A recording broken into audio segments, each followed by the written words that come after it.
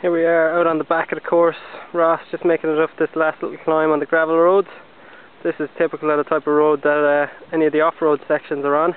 Absolutely beautiful out here. You can see in the background we've got the Galtee Mountains way over there and the hills of North Cork, probably North Kerry you can see as far as from way up here all the way off in the distance all being bathed in sunlight today.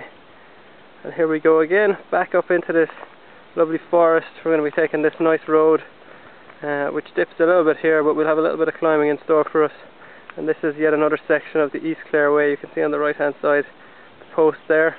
That's what we'll be following for quite a considerable part of the course which makes it nice and easy and guarantees us rights away to all these beautiful parts of the Clare countryside.